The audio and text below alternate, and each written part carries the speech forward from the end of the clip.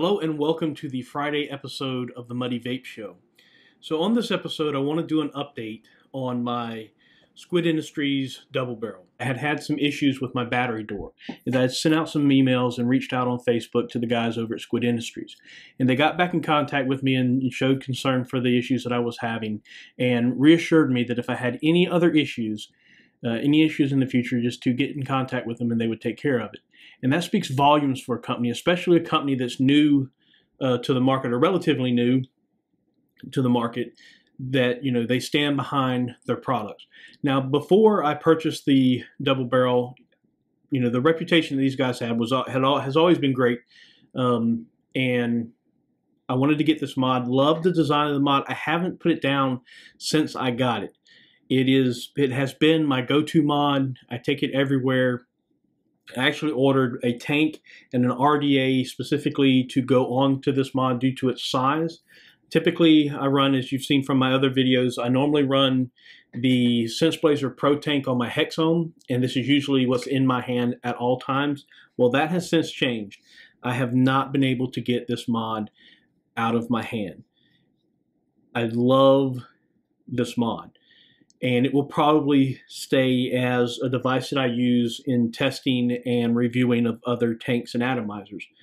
Um, I just I can't speak highly enough and the fact that the guys got back in contact with me you know that that relationship you know when when you reach out to a customer that's having an issue and you reassure them that there's no need for them to worry that you got their back i mean that that just seals the deal that's what you know fortifies that customer company relationship and the guys were great like i said have been loving this mod if you're looking for something that is compact size still has a little heft to it um, I mentioned earlier that I'm, I'm not a really super big fan of light mods. I know that some some people like a smaller profile and a, and a mod that's that's relatively light.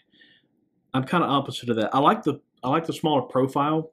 I love the shape of this. I mean, essentially just two batteries. I, I love the shape of it and the size. It still has some some heft to it, some weight to it, and I, I really like the way it feels. And you know, like the two tank, the tank and the atomizer or the RDA that I purchased to put on this tank, both go perfectly. The troll come in. I, I got some vape mail in, and I, I, couldn't wait. I had to open up the stuff that I get. I'm, I'm not super super good with the whole patience thing and waiting for items. You know, once they come in to kind of stockpile them to do a video. So yeah, I opened up my troll my Troll V2. I'm actually waiting for a couple custom drip tips. One for this, one for the for the Troll, and one custom drip tip to actually go on this Blazer Mini. However, when I got the Troll in, uh, it has a 510 drip tip that comes with it. It's kind of this little metal guy. It got a really good feel to it. It's kind of a stubby um, affair going on there. The original 510 drip tip that comes with the Sense Blazer Mini is kind of this guy. And I'm not I'm not really a super big fan of this kind of shape going on here. So when I opened up the Troll version 2 and found this guy inside and slipped it onto that tank, I think that just looks perfect. I think it, it kind of rounds off and, and fits the tank nicely. And the SenseBlazer Mini, the, the flavor on this guy is great. It um, you know is in the same ballpark as the Blazer Pro.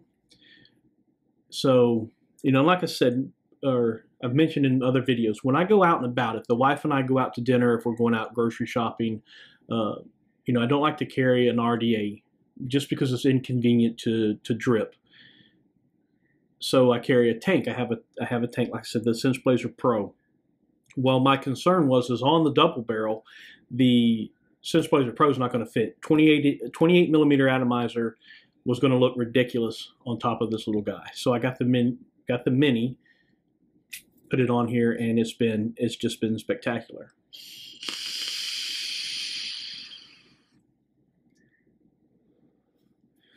I mean, it's just great. What what more can you ask for? This guy will be in in my collection in my arsenal for the foreseeable future. Solidly built, you know, just love it. Love it. So, yeah, I've got that going on. I wanted to make sure I got that update out there. And, you know, I told you guys that I would let you know as soon as they contacted me. And one thing to keep in mind, my schedule is, is kind of kind of wonky right now. It's kind of off because I'm usually I'm usually up relatively late. So if I send out an email, I'm sending out emails that are going out, you know, one, two, three o'clock in the morning, and you know, typically, of course, at those hours, businesses aren't going to be open, so they're not going to be checking their email. So it may take a it may take a day or two extra for someone that I send an email out to to kind of get through that process because, like I said, it goes out goes out super early. So yeah, but um, loving the double barrel. Uh, slight little update on the Mad Dog by Desire. So I picked this up on a sale that uh, Vapor DNA was having, a little 99 cent sale, and really liked this single coil tank. The only issue that I've had, and it's not it's not really so much of an, an issue per se, except for the fact that it's just gone through juice. The capacity of this tank, being that it is, it just goes through juice. I'm constantly refilling, which I, I carry these, I carry these little, little bottles here with me, so that even with a tank, so that if I'm out and about for an extended period of time and I need to refill, you know, I can just put the the juice in it. But yeah, I've been I've been cooking through some tank, and it may have something to do with the with the build that I have in there. But that was just one thing that I noticed is that it does it does kind of kind of go through the the juice. Not a super big deal, but just something to be aware of that it does go through the juice. Have had no leaking issues uh, whatsoever, and I, I think I, I nailed that the wicking when I put this coil in perfectly because uh, it's been it's been a good performer for me. Um, what else have we done for updates? Hmm. I opened up the Rashomon. Did have this one uh, in the vape mail first part of the week. Part of that sale that that I got the Mad Dog on. So I put this on. My Hexohm, threw a couple Claptons in it, and it's been it's been performing. I was about to I was totally about to hit the button on that. Did I put batteries back in it? I did. I'm like, ah, I better check. So so yeah, but it's been it's been performing great.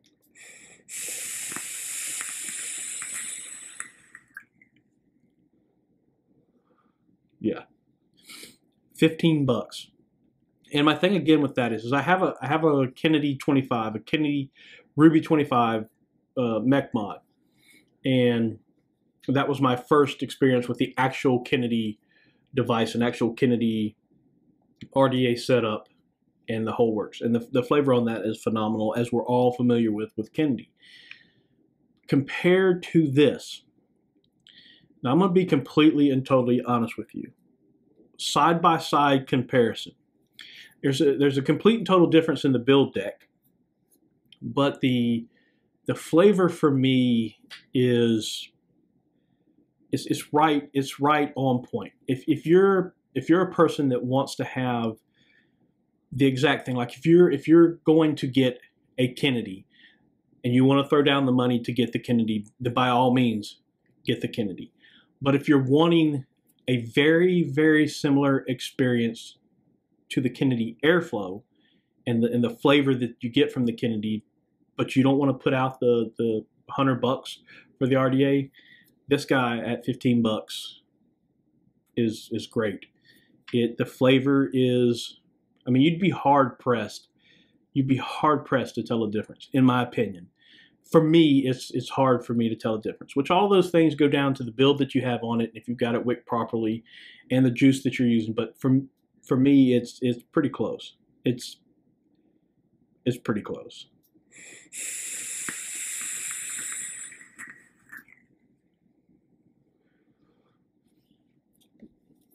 really enjoying that as well. So, what do I have in the works? Well, I mentioned in a couple other videos that I wanted to do the Muddy Vapes adventure. Essentially, just taking a camera and going to a vape shop and, and kind of talking to the people that work at the vape shop or some of the people that are in the shop, you know, kind of kind of pick their brain and see, you know, what kind of devices that they're that they're looking forward to getting, stuff that may be out there that they're that hasn't come to the market yet, but they're kind of interested in kind of get their feeling on some of the stuff that we already have that they're already using, you know, what their impressions and their opinions are. You know, a lot of us, we come to YouTube and we watch the YouTube review channels and, and kind of base our purchases somewhat on the products that we see that are reviewed. Because, I mean, these guys have access to these items well before we do. Uh, a lot of times in the beta stage uh, before the final product comes out and you know it kind of allows us to see the item and then you know we go out and try to find that item so that we can use it well i kind of want to talk to people that have gotten those items you know such as such as the rashomon I mean, it's been out for a while and there's tons of reviews that have been done on it but you know i want to talk to people once they've watched the reviews and then gone out and actually purchased the product. I want to, you know, kind of make contact with them and, and get their opinion and, and, what they think. You know, real real world usage of these products. So yeah, Muddy Vapes Adventures. I got the the setup that I'm going to use all together. I needed to get a couple adapters so that I could uh, square my audio out. Uh, Scott, speaking of audio, speaking of audio, you learn to speak. So yeah, there were a couple things I wanted to get so that I could make sure I had quality audio when I went out and actually did these videos out in some of the shops. So I got all that in. So look forward to those. Um, hopefully, hopefully do some footage this weekend, possibly if I have time, um, and then do some editing and get those videos out of the Muddy Vapes adventures next week. I'm thinking maybe some somewhere along those lines, but but yeah, got that. Oh, also picked up a a cameras to do the live stream. So at some point, I want to do a live stream. And in the future, I would like to do a live stream where I can actually get together with um, other other vapors and do a show with other vapors. Now I know we have shows where the you know we have a lot of reviewers to get together and have some conversations, and I, I kind of want to go in a in a similar similar route but different not necessarily vape review because I mean, as you can see, if you've watched any of my videos, it's not a typical review channel. I don't do a lot of the up close stuff in detail. I kind of just give an opinion and my experiences of what's going on with the products that I have and the stuff that I like. And it's from a vapor's perspective, not a reviewer's perspective, not somebody that's trying to promote promote a product or give you the first look on a product that's not available in the market. It's just my experiences, you know, with the the items that I have, and I kind of want to, you know, make contact with some other people and do some videos. You know, we have a discussion, talk about some stuff that's going on, talk about vape vape advocacy, which is an important thing. There are some more flavor bans in California you know, and that's a, that's another thing that's, that's very important that we continue. We've had some good things go in our favor. There was just a medical report released. It's the same report that was done in Europe, and but now released in the states. So, and I'll leave some links to CASAA and some of the other organizations, but we definitely need to continue to fight for our rights to vape. The you know they're coming for flavors and you know they're still i don't want to go into a big bunch of detail about the way certain juices are advertised or the packaging or any of that type of stuff. I mean all that stuff to me should be common sense. But yeah we need to make sure that we do at least some small part of you know making sure that we continue to have the right to do something that one has helped us to become healthier two, gotten us off of cigarettes, and three, something that we're probably all passionate about. Because for me, at this point, this is this is you know beyond um, stopping smoking or should I say, stop using cigarettes. This was beyond that for me. This is this is now more of a passion, something that I that I really enjoy. Um, you know that I really taking part in and doing. So yeah, wanted to make sure I got that in there. So I think I've covered everything. I've, hopefully, I'll have some some more content, like I said, later on in our early part of next week with the the Muddy Vapes adventure. And you know kind of see where we're going with the with the channel.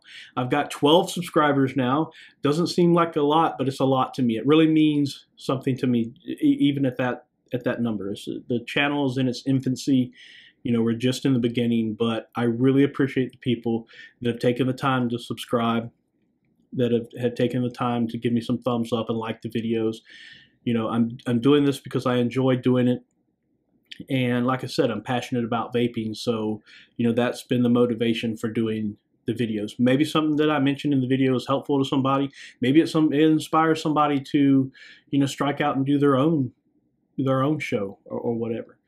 You know, that's I, I just like seeing seeing that type of stuff. So yeah, if you are visiting the channel and you'd like to, please subscribe.